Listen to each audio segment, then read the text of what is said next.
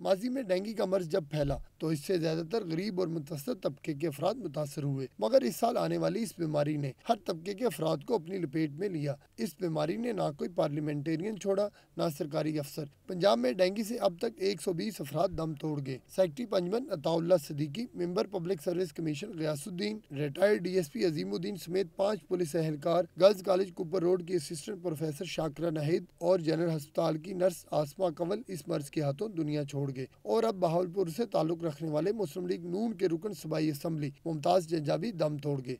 बीमारी तो सब सबको मुतासर करती है। वो किसी का ग्रेड या स्टेटस तो नहीं देखा अब अल्लाह ताला से उम्मीद है कि इन जल्द वबा पर काबू पा लिया जाएगा।